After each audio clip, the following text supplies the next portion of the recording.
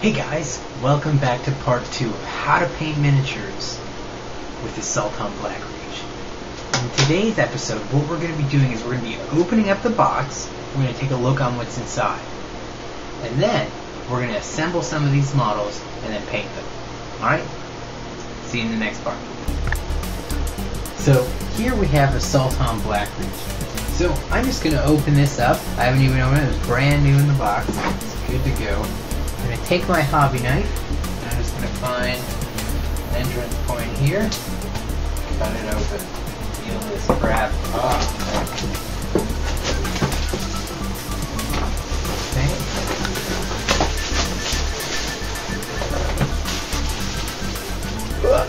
Wait. Here we go. So right now you got this cool little uh, art on the box. It's pretty sick. And let's take a look at what is inside. So in this pouch, we have our templates for playing the game, and we have all the bases. That's pretty good. We also have a little pack of dice. Excellent. So that way we can actually play the game. Uh, we have one sprue, two sprue, three sprue, four. Okay, we'll take a look at those in just a second. Also a transfer sheet. We'll be talking about what that is when we go to paint our models. Here we have um, our whippy sticks. They're good for whipping. Break one up and show you. Hopefully you can hear that. They're excellent for that. And I think they're designed to be a ruler slash line of sight tool. And they're good, kind of, for line of sight, but ruler is not. Because look, I don't know if you can tell, um, that's not really straight at all. It's kind of going. It's not good, but it's pretty nifty. I like it. Um, and some books. So let's open this up.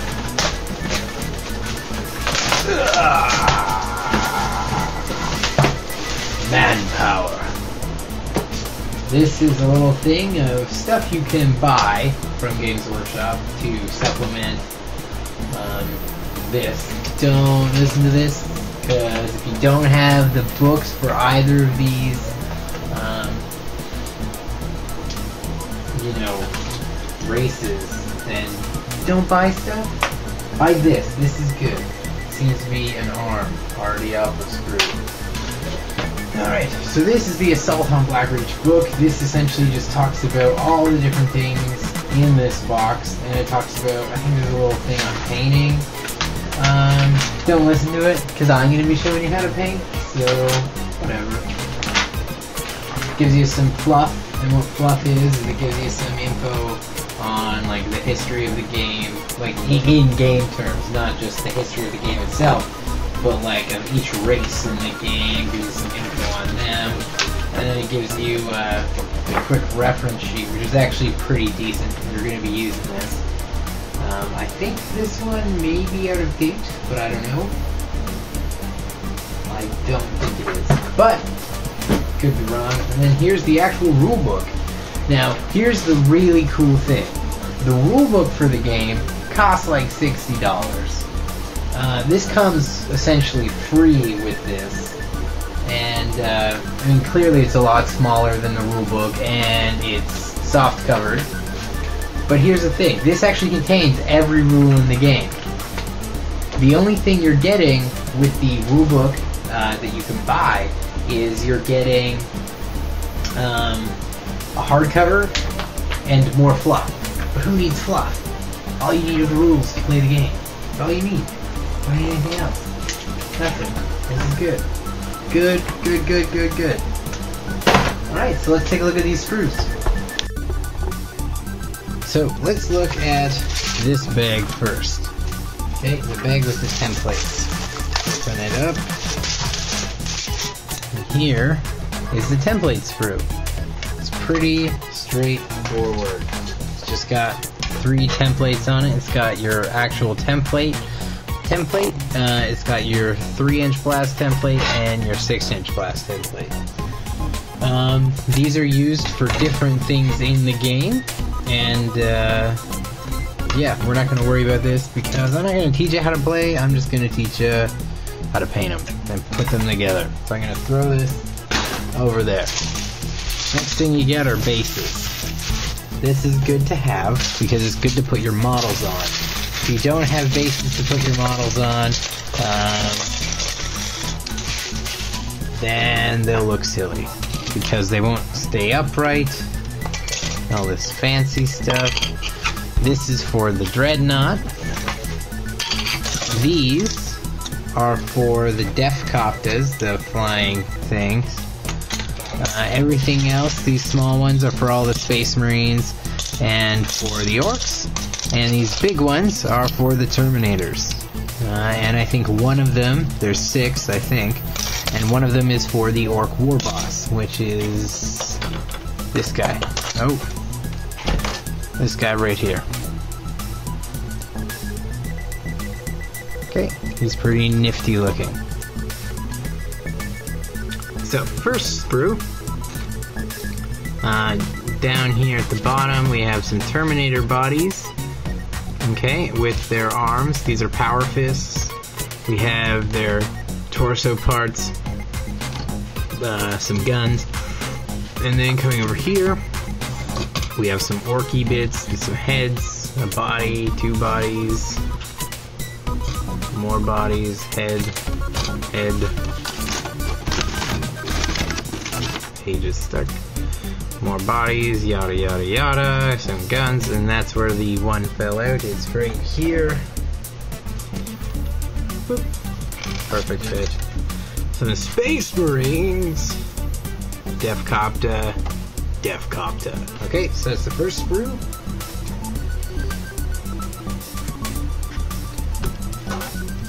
Okay, so these are orc knobs. They're a little bit bigger than your normal orcs, and they have some cooler bits. They have big choppers instead of just normal choppers. And they also have big sluggers. Okay, um, more orc knobs, Deffkopta, Deffkopta, uh, knobs, bits. Oh, that's the war boss bit. That's part of his power claw. And look, there's the war boss. Um, a war boss gun, I think. And then some more knobs. And then some normal orcs. These are um, big guns or something. I don't know. And as I said, Deffkoptas. So, next.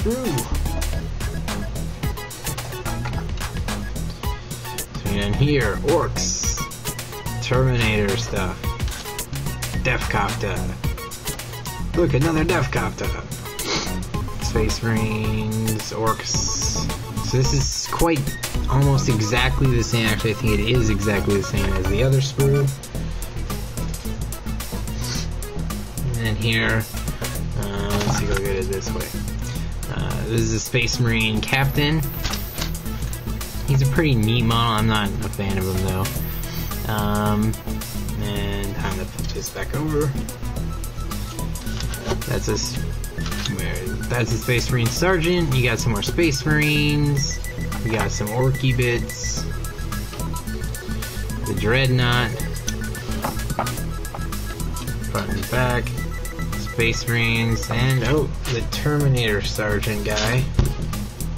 That's his back bit. Where's his front bit? His front bit's on over here.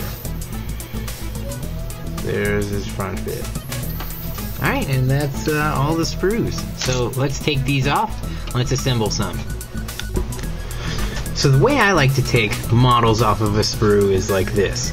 I usually use a pair of plastic clippers, but I honestly can't seem to find them. So I'm just going to use some wire cutters. I use these as kind of like my backup. Uh, and I'm just going to clip right here. And right here. And you're going to clip essentially wherever the model is attached to this sprue. And uh, here's a quick tip. Um,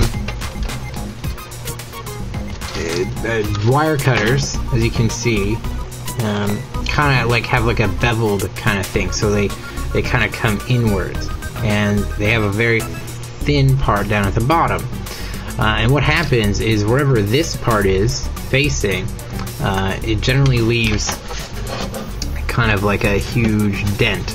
So keep that part away from the model and keep the flat part towards the model. Okay, so find myself on cam here. There we go.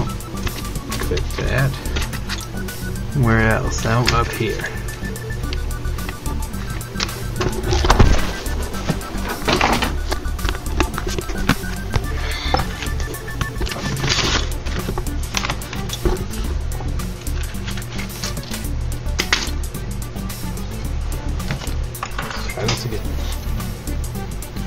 Alright, so the way I like to clip models out is I like to come and just use my wire cutters, or uh, I prefer my plastic clippers, but I can't seem to find them. So, we're just going to uh, cut some guys out with these. So, as you can notice, the, the wire cutters have this weird little thing where it kind of bevels inwards, and the bottom part is actually quite thin. I don't know if you can see that. And the top part kind of has this like angled surface. So what happens is wherever that angle area, this big surface area is, that's going to leave a weird kind of like dent. So try to keep that part away from the model. I'll show you what I mean. Uh, let's find a good one. Um, put this about. Alright, here we go. So, right here, on this guy's arm, if I come in, see how I have the flattest part of the wire cutter against the model, and the other part facing away. And see how it kind of squished that bit right there? That was because of the angled surface. So keep that part away from the model. So, you know, do it again.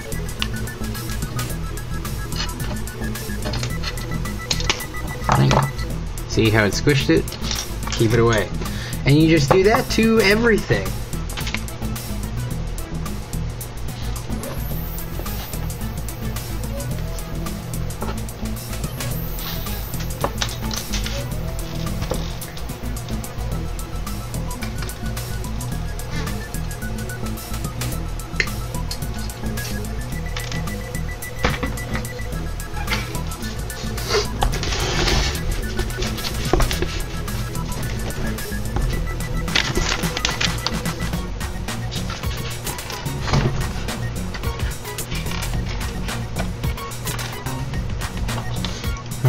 So now that we have our guy cut out, I'm using this orc here. He only had three bits he needed. He needed a head.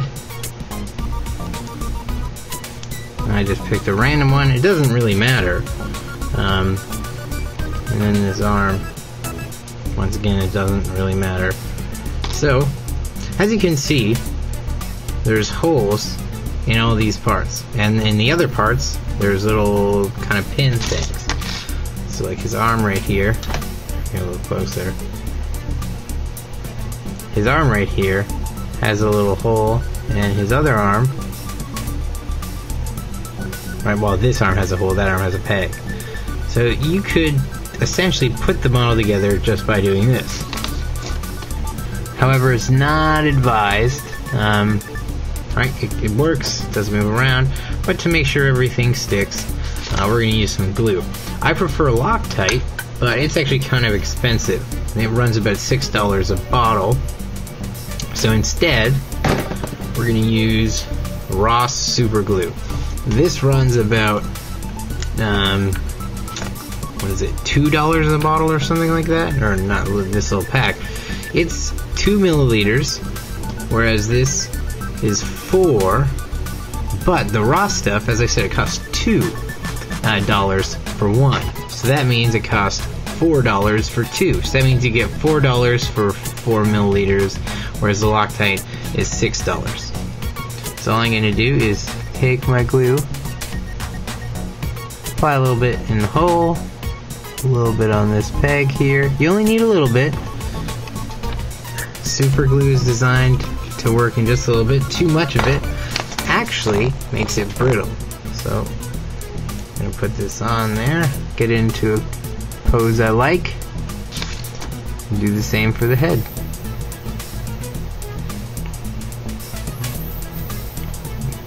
Doesn't want to go in.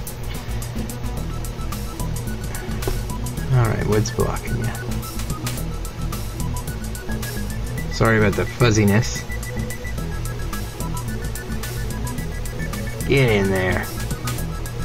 Alright, well this head doesn't want to go in, but uh, I'm sure you can find a head that will. I'm sure this one will. It's just the angle of the camera is preventing me from getting enough force to get it in. So, uh, yeah, you get the idea. Stick it all together. And then, to glue him to the base, you just put him on the base. Right? So you see if he fits. Good, because he's going to flop around without glue. So put glue along this, put him in, and then eventually, when it was something like this. It's all put together. Okay? Now I've also primed this, and that's what we're going to be talking about in the next part.